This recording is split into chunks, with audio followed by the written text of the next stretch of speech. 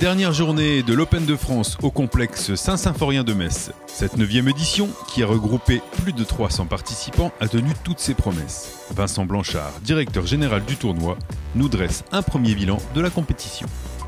C'est vrai que cette 9 édition est un réel succès parce qu'avec 46 pays et, plus de 300 joueurs engagés, on a battu tous les records ici au complexe Saint-Symphorien cette semaine. C'est une belle récompense pour l'ensemble des bénévoles du trio organisationnel de la Ligue du Grand Est, du Comité de la Moselle et bien sûr de Metz Tennis de Table. On espère faire tout aussi bien euh, l'année prochaine. En tout cas, euh, rendez-vous euh, au mois d'avril 2020 pour la dixième édition de l'Open de France ici à Metz.